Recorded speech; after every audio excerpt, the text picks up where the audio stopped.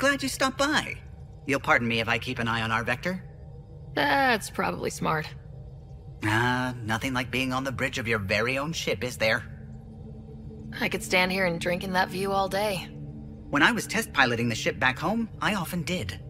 Of course, it took a whole team to build the Tempest. I was the only one to come to Heleus, though. Why did you? What can I say? We poured our hearts into a ship that wouldn't realize her potential until Andromeda. I could have stood on the shore and waved goodbye, or took the leap to see how it all turned out. I get it, like leaving a good story half finished. The team liked that one of us was going. It felt right after all we went through. I remember Serena debugging line 2281 over and over, chewing that green pencil. Tion and O'Connell arguing equations, tapping on the console, three drips of coffee on the corner. You remember all that? Hmm? Oh, yes. Salarians have photographic memories, and apparently mine's unusually sharp. Like my past is still happening. Though I suppose with the Salarian ark missing, you might not get many chances to compare. Did you hear anything about the Ark back on the Nexus? Not a peep. Isn't that strange? You'd think there'd be something. Not that I dislike your company, but it's lonely without other Salarians. Don't sweat it. We'll bring the Salarians home. Of course we will. I just have to be patient, that's all. I should get back to it, but thank you. I was afraid the Tempest would be mothballed after we lost your father. We built her for this. She deserves to be in a Pathfinder's hands. Please, come by any time. Sam's been compiling our star charts. The other pilots on the Nexus will have plenty of new trails to follow. You can drop the charts off the next time we're there. Funny. A few months ago, that station was like a war zone. Flying was my only way to escape the chaos. Now it's become a haven, just as it was meant to be. Every good space station needs a big lake, maybe some fountains. Indeed. Even non-amphibians need a little water.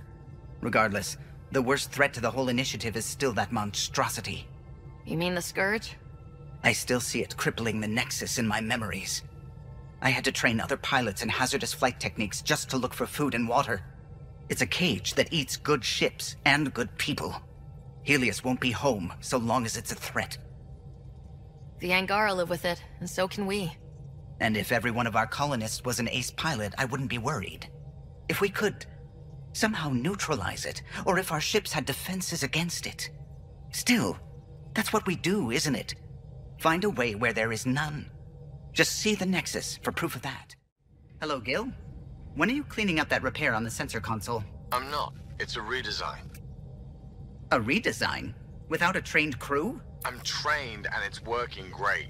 Don't be so uptight. Everything okay? Oh, fine. Fine.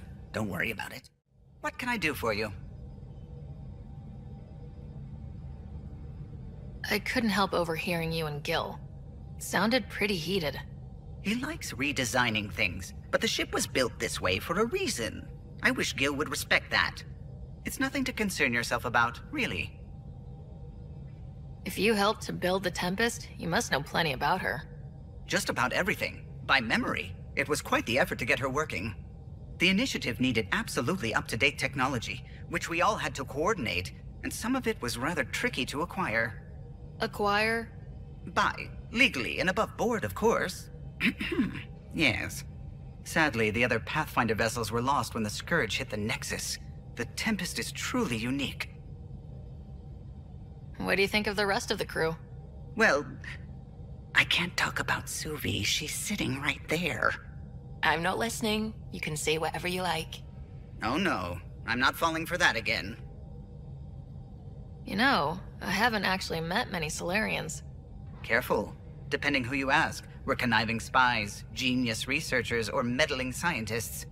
We have to pack a lot of living into 40 odd years. Everything gets accelerated, lines blur. I just hope we don't repeat our old mistakes out here. I'll let you concentrate. You know where I'll be. Oh, the ship manual's useful. That leg of my workbench needed propping up.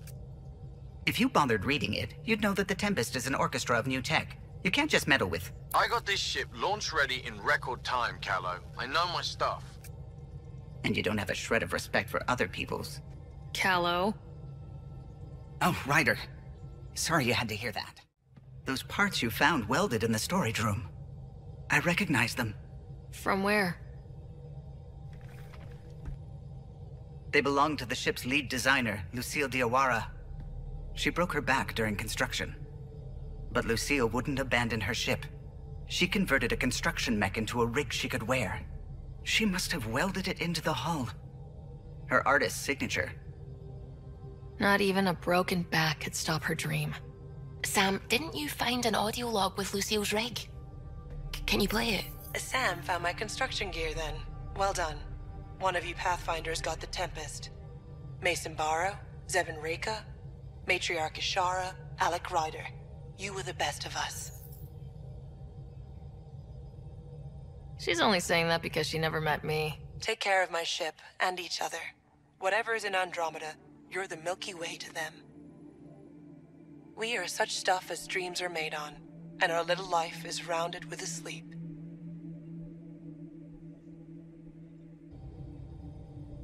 I never thought I'd hear Lucille's voice again. She really cared about the Pathfinders. Enough to give them her rig. For luck.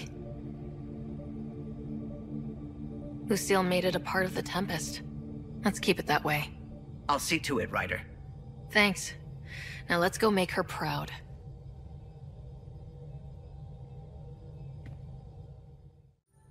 Kallo, settle down. If this isn't a good reason to get excited, What's up? You guys aren't fighting, are you? why would I fight with my best friend?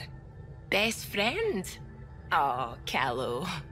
Kallo's very excited about a report I received from EOS. It's good news. The radiation levels are steadily dropping. Your outpost Prodromos is really going to make it. When do you want to head back? Is there a rush? Just saying, if I created a thriving community in a brand new galaxy, I'd want to visit. Just wait till they put in the beach and the water slide. Now you're just playing with me. So, radiation levels are down. More to explore? Y- yes, but there's been a rise in Kett activity as well. Figures that we're not the only ones to benefit from the planet's improvement. Might be nice to see how it's doing. Almost like a vacation. Almost. Maybe we'll head back at some point. Well, you're the boss. Just say the word. Gil, O'Connell and Serena spent months getting our systems coordinated. You can't just strip and redesign those connections on the fly. Gil? I know you can hear me. The whole ship can hear you. I'm just not listening. You're fighting again? I'm thinking the same, believe me. The hell you did? You can't just undo 10 hours of work. I had to. Your revamp risks power imbalance between decks, something we solved back home. It's twice as efficient. Just because it doesn't match your sainted specs, And now it does. As you say, deal with it. Kallo. I know, just please don't let this distract you. I don't believe it. Gills reconfigured our entire nav array. O'Connell risked a dozen spacewalks putting that in place. Damn it. Kallo, don't. Take the helm. I've had enough of this. You don't give a damn what my team and I went through to build this ship. No, I don't. I care about us surviving out here, and if that means redesigning, You don't have the right.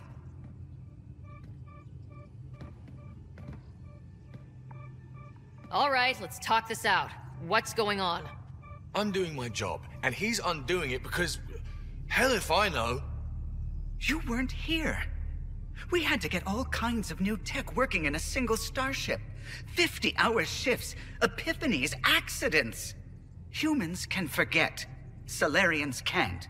To me, it's all still happening. My team is here.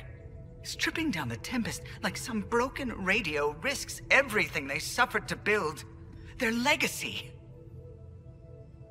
If he had the Tempest up on blocks, I might see it. Look, Kallo, your people did a great job, but they're dead. And they couldn't have anticipated half the problems in Heleus. Like the Scourge. If we don't adapt, we'll die too. Is that what you want their legacy to be? Gutting a complex ship out in space isn't adapting. It's irresponsible and disrespectful.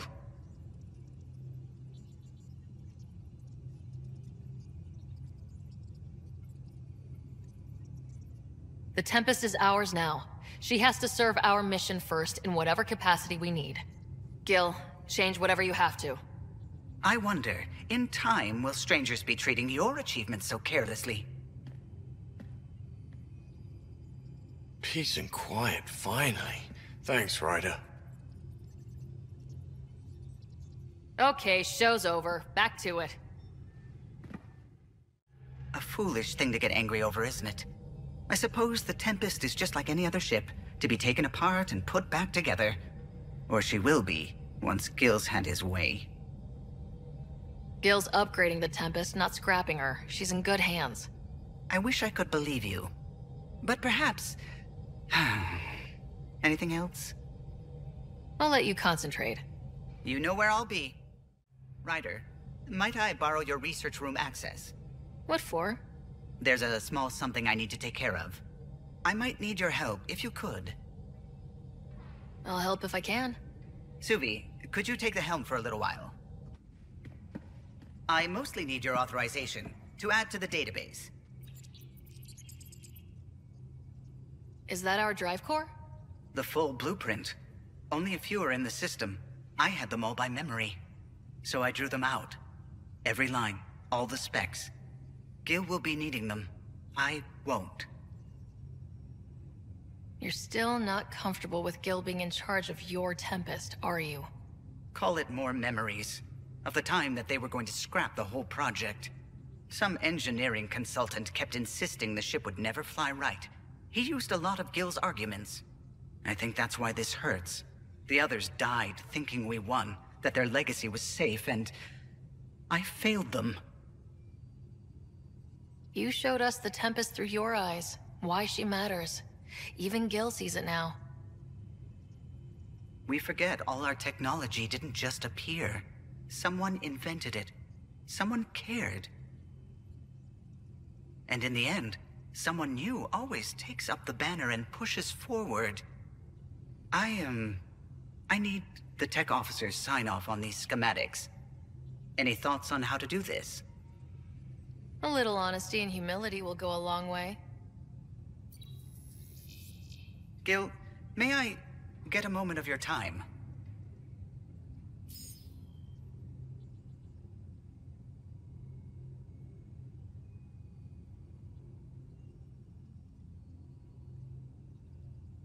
I thought we settled this. What's going on? I saved the Tempest schematics for you. It'll be easier with them on hand. Seeing her drawn out down to the basics, uh, she's kind of beautiful. Oh, right. You never saw. Yeah, look at the arc here. That's artistry. And there. A real victory. Our ark back at the Nexus. I'd almost given up hope.